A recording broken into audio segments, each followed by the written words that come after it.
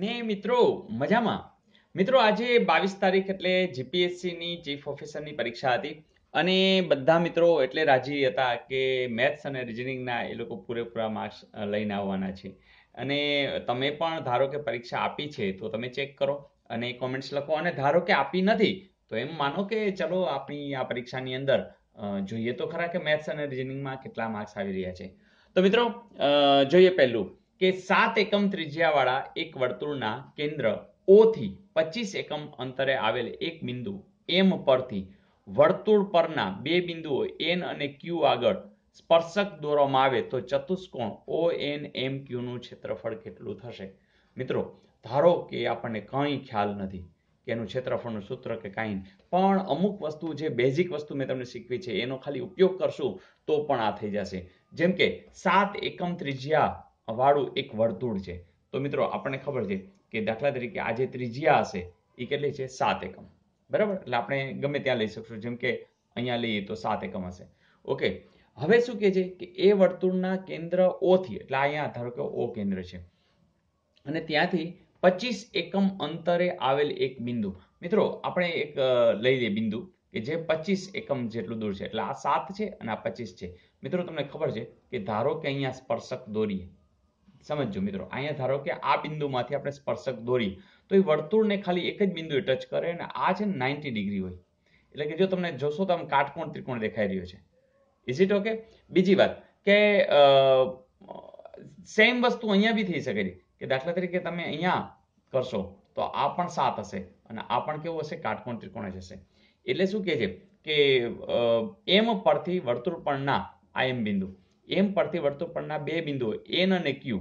બરાબર ને? તો તમે અહીંયા એન લઈ લ્યો, અહીંયા ક્યુ લઈ લ્યો. તો સ્પર્શક દોરવામાં આવે, એટલે બંને સ્પર્શક છે અહીંયા. અને ચતુષ્કોણ ઓ એન. હવે ચતુષ્કોણ શું થશે? O, N, M, Q. બરાબર? આ ચતુષ્કોણ થયું. હવે એનું ક્ષેત્રફળ શોધવું છે. મિત્રો કાંઈ ધારો કે આવડતું નથી, પણ એટલી તો ખબર છે કે જો આ સાત હોય, આ કાંઈ આપ્યું નથી, ધારો કે એક્સ હોય, તો એ ખબર છે કે આ તો પચીસ કર્ણ છે. તો આપણી પાસે કાટકોણ ત્રિકોણ હોય? કે જેમાં તમને આ આપી દીધું હોય સાત, બરાબર? આ આપી દીધું પચીસ. તો આ મળે કે ન મળે? મળે જ. કારણ કે તમને ખબર જ છે કે પચીસ નો વર્ગ બરાબર સાત નો વર્ગ વત્તા એક્સ નો વર્ગ. ધારો કે આને આપણે એક્સ કહી તો પચીસ ગુણ્યા પચીસ. તમે તરત કહેશો છસો ને પચીસ. સત્યુ સત્યુ, ઓગણપચાસ. નવ ને છ, પંદર. પાંચ ને સાત, બાર. તો પાંચસો ને છાઉતેર. તમે તરત કહેશો સાહેબ એ તો ચોવીસનો વર્ગ છે. એનો અર્થ કે આ મળી ગયા ચોવીસ. એટલે કે આ થઈ ગયા ચોવીસ. બીજી એક વાત, કે આ પણ જાણજો કે તમે જ્યારે આવી રીતના બે સ્પર્શક દોરો, તો આ લંબાઈ હોય એટલી જ આ લંબાઈ. એટલે કે આઈ ચોવીસ. બીજી રીતે ખબર છે કે આઈ સાત છે, કાટકોણ ત્રિકોણ જ છે, આ પચીસ છે જ, તો પછી આ ચોવીસ હોય કે ન હોય. હવે કેવી વાત થઈ?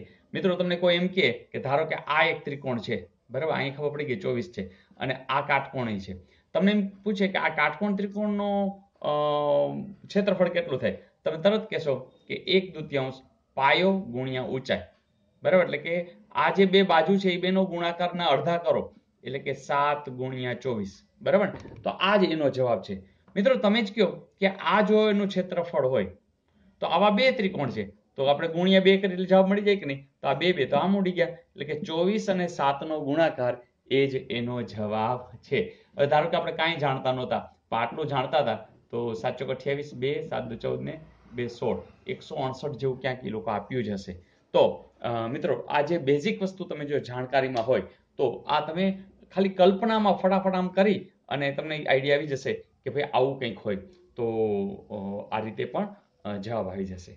તો ઇઝ ઇટ ઓકે બીજી એક વાત કે સાત, પચીસ અને ચોવીસ વિશે મેં એવું પણ કીધું હતું કે તમારે શું કરવાનું કે એવી સંખ્યાઓ મળે છે કે સત્યુ સત્યુ, ઓગણપચાસ. આ બે બાજુ બાજુમાં, છે કે નહીં? તો, ચોવીસ અને પચીસ. ઓગણપચાસ થાય. તો આ જે ત્રિપુટી છે, એના આધારે પણ તમે શોધી શકો. અને જો તમને માહિતી હોય, તો તો તમને ડાયરેક્ટ ખબર પડી જશે. તો મિત્રો, આ કહેવાતો મોટો દાખલો. તો ક્યારેક એવું બને કે થોડોક સમય તમારો લે એવો મોટો સમ પણ હોય. અને અમુક એવા હોય કે તમે એક કામ બે સેકન્ડની અંદર પણ કરી શકો.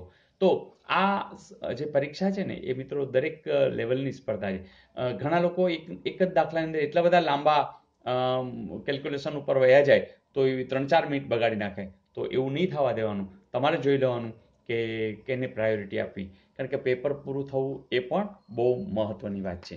જોઈએ નેક્સ્ટ મિત્રો, બીજો પ્રશ્ન આવો હતો કે કાચના એક ગોળાનો વ્યાસ સાડા ત્રણ સેમી હોય, તો તેની સપાટીનું કુલ ક્ષેત્રફળ કેટલું થશે? મિત્રો, આપણે જાણીએ છીએ કે જ્યારે ગોળો હોય અને એની સપાટીની વાત હોય, તેનું સૂત્ર શું છે? ચાર પાય, આર સ્ક્વેર અહીંયા આર તમને નથી આપ્યો, વ્યાસ આપ્યો છે. આપણે ખબર છે કે જો વ્યાસ આપ્યો હોય, તો આર કેવી રીતે મળે? તો આર બરાબર ત્રણ પોઈન્ટ પાંચના છેદમાં બે લઈ લેશું. બરાબર? એટલે વ્યાસના અડધા કરો, એટલે આર મળી જાય. તો આપણને આ જ શોધવાનું છે. બસ બીજું કંઈ છે નહીં. એટલે તમે ચાર કરશો. અહીંયા જો પાય ઘણી વખત આપેલો હોય, અહીં નજર કરી લેવાની. તો પાયની કિંમત નહીં મૂકવાની. તો આપણે આમાં મૂકી દેશું. બાવીસ સત્તાવસ આર એટલે તો પાંત્રીસના છેદમાં બે. હવે પોઈન્ટ પાંચ છે, એટલે હું ગુણ્યા દસ અહીંયા કરી નાખીશ. એ જ રીતે બે વાર, કારણ કે વર્ગ છે પાંત્રીસ બેના છેદ એટલે ટૂંકમાં આ સૂત્ર તમને ખબર હોવી જોઈએ કે ગોળાના સપાટી માટેનું સૂત્ર શું છે? ચાર પાય આર સ્ક્વેર. સૂત્ર કેમ યાદ રાખવા? એનો મેં મસ્ત વીડિયો બનાવ્યો છે, તમે જોઈ જ લેજો. તો હવે તો મિત્રો કામ પતી જ ગયું છે. જેટલું ઉડતા એટલું ઉડાડીએ. બે, દુ, ચાર. આ બે અને આ બે ઉડી ગયા. બીજી વાત કે સાત, પચાસ, પાંત્રીસ. બરાબર?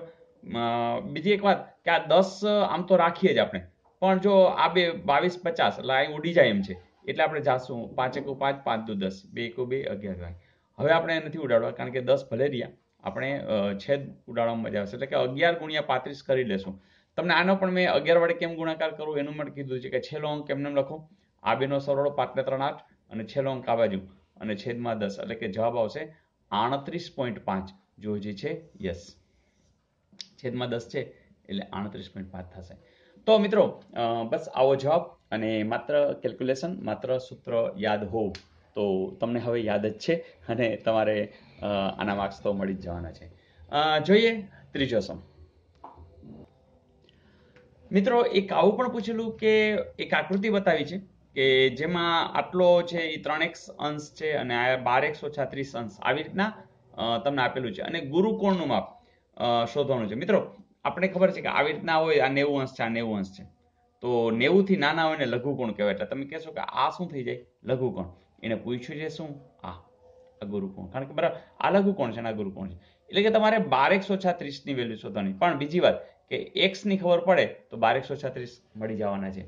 એક્સની કેમ ખબર પડે? તો એ પણ તમે નિયમ જાણો છો કે આખી આખી જે રેખા છે એમાં અહીંથી અહીં સુધી. આ ખબર છે? આ નેવું છે. આ એવું છે. એટલે કે આખો જે ભાગ છે અહીં સુધીનો, હે ને? તો આ રેખિક જોડ છે. એટલે કે એકસો ને એસી અંશ હોય. એનો અર્થ એવો થયો કે ત્રણ એક્સ વત્તા સોરી ત્રણ એક્સ વત્તા બાર એક્સ ઓછા ત્રીસ એ તો કેટલા છે? એકસો ને એસી. બસ, કામ પતી ગયું.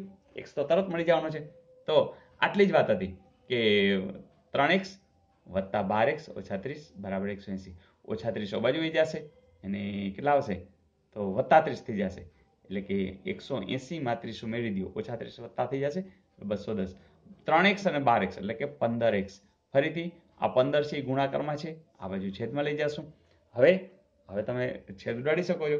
પંદર દુ ત્રીસ થઈ જાય છે, એટલે પંદર એકુ પંદર. કેટલા વધશે? સાહીઠ વધશે. છગડો, પછી આ મીંડું પંદર. ચોખ્ખું સાહીઠ એટલે કે તમને ચૌદ મળ્યા તો ચૌદ તો ન આવે, તમને ખબર છે કે આ જવાબ મેળવવાનો છે. તો અહીંયા બાર ગુણ્યા ચૌદ કરશો. એમાંથી ત્રીસ બાદ કરશો. તમને આનો ગુણાકાર શીખડાવ્યો યાદ છે ને? કે બાર અને ચૌદ નો ડાયરેક્ટ કેવી રીતે થાય? તો આ બેનો ગુણાકાર, ચાર દુ આઠ, બરાબર? ચોકડી, ચાર એકુ ચાર, બે એકુ બે છ, બરાબર? એનો સરવાળો, ચાર એકુ ચાર, બે એકુ બે, એનો સરવાળો. અને પછી આનો ગુણાકાર, એટલે કે કોઈ, એટલે કે એકસો ને અડસઠ ઓછા ત્રીસ. તમે તરત કહેશો, એકસો ને આડત્રીસ એવું ક્યાંય છે? તો આપેલું જ છે. જો આમાં ક્યાંક ન હોત તો તમે શું? સ્યોરિટી સાથે લખત કે અન્ય. તો આવું કંઈક. કે જેમાં માત્ર તમારી ધીરજની કસોટી છે અને સ્પીડ કરવાની છે. બાકી તમને હવે બધું આવડે છે. કારણ કે હવે તમે એમબીએની ડિગ્રી ધરાવો છો. જોઈએ નેક્સ્ટ. મિત્રો, આ તો એકદમ ખુશ થઈ જાવ એવો સમ છે. કારણ કે સાવ સિમ્પલ કે આઠ ટકા વ્યાજના દરે એક રકમ પી એક વર્ષ માટે મૂકવાથી રૂપિયા છ સાદું વ્યાજ મળતું હોય તો તે રકમ કેટલી હશે? એનો અર્થ કે તમને આઈ બરાબર પીઆરએન છેદમાં સો એમાંથી કોઈ પણ ત્રણ વસ્તુ આપી છે અને ચોથી શોધવાની છે. તો મળી જ જશે. આઈ એટલે તમને ખબર સાદું વ્યાજ તો આપ્યું છે? તો કે હા, છ રૂપિયા. પી તો રકમ કેટલી? જે મુદલ આપણે કહીએ તો એ શોધવાની છે. આર તો વ્યાજનો દર આપ્યો છે? યસ, આઠ. એન એ કેટલા વર્ષ માટે? એન એટલે નંબર ઓફ યર્સ તો એક છેદમાં સો જોઈએ. હવે આ પી છે, એ જ આપણો જવાબ થઈ જશે કે નહીં? ચાલો સો ને આ બાજુ લઈ જશો? કેવા થઈ જશે? ગુણાકારમાં. એટલે કે સો ગુણ્યા છ છેદમાં આઠ. આઠ આ બાજુ જે હશે પી ગુણ્યા એક છે એટલે પી જોજે એટલે કે છસો ભાગ્યા તમારે આઠ કરવાના આવ્યા જુઓ કેટલા આવશે? તો અઠ્યો અઠ્યું ચોસઠ થઈ જશે, આઠ સત્તા છપ્પન ચાલીસ. બરાબર ને? ચોકડો મીંડું ઉતારી લીધો. તો આઠ પચાસ ચાલીસ. તો જવાબ પિચોતેર છે, જરૂર છે. તો મિત્રો, આટલું સહેલું પણ પૂછાયેલું હતું અને મોટા ભાગનાને આવડી જ ગયું છે અને આવડી જ જાય ને? તમે લોકો એમ ફીલ કરો કે તમે પણ પરીક્ષા આપી રહ્યા છો. કહેવાની વાત એ છે મિત્રો કે એક પણ માર્ક્સ આપણા જાય નહીં એવો સતત પ્રયાસ કરીએ. આવું જ મેથ્સમાં આવું જ રિઝનિંગમાં આવું જ ગુજરાતી સાહિત્યમાં, આવું જ ગુજરાતી ગ્રામરમાં આવું જ અંગ્રેજી ગ્રામરમાં આવું જ અન્ય જીકેની અંદર, તો તો પછી તમે કોન્ફિડન્સથી એમ કહી શકો કે હવે તમારે પૂછવું હોય તે પૂછો. હવે એમબીએ હું ડિગ્રી ધરાવું છું. એમબીએ ખબર છે ને? મને બધું આવડે.